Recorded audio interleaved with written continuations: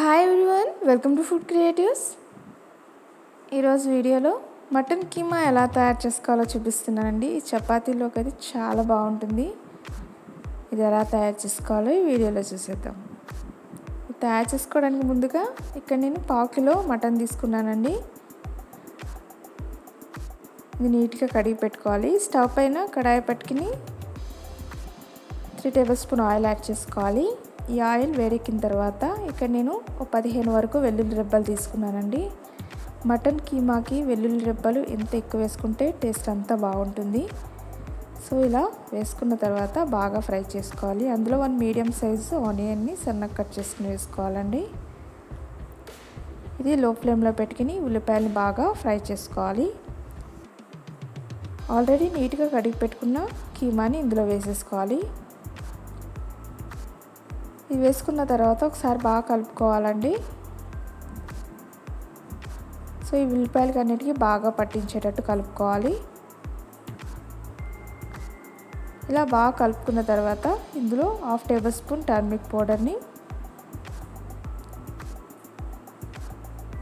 One table spoon సాల్ట్ని అలానే one table spoon ginger పేస్ట్ని యాడ్ చేసుకోవాలి. ఇలా వేసుకున్న తర్వాత బాగా కలుపుకోవాలండి. ఇదంతా బాగా కలుపుకున్న తర్వాత మూత పెట్టేసుకుని ఒక ఫైవ్ మినిట్స్ పాటు లో ఫ్లేమ్లో ఉడికించుకోవాలి. ఫైవ్ మినిట్స్ అయిపోయిందండి మూత తీసేద్దాం. చూస్తున్నారు కదండి వాటర్ ఎలా ఫామ్ అయిందో?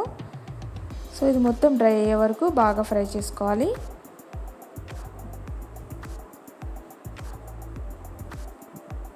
ఇందులో వన్ టేబుల్ స్పూన్ చిల్లీ పౌడర్ని ఇది వేసుకున్న తర్వాత ఒకసారి బాగా కలుపుకోవాలి.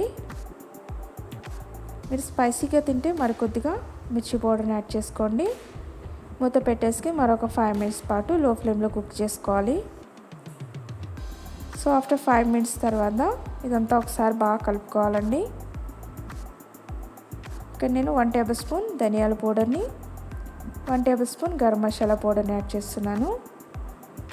ఇలా మసాలా పౌడర్ వేసుకున్న తర్వాత ఇందులో కొద్దిగా కరివేపాకును కూడా యాడ్ చేసుకోవాలి. ఇలా కరివేపాకు వేసుకున్న తర్వాత ఒకసారి బాగా కలుపుకోవాలండి.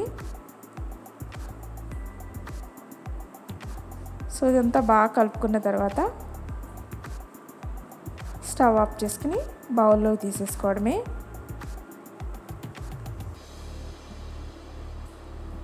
చూస్తున్నారు కదా? చాలా ఈజీగా మటన్ కీమాని ఎలా తయారు చేసుకున్నాము. చాలా బాగుంటుంది టేస్ట్ అయితే. మీరు కూడా ఇంట్లో ట్రై చేయండి. ఈ వీడియో నచ్చినట్లయితే like share and subscribe to our channel. Thank you.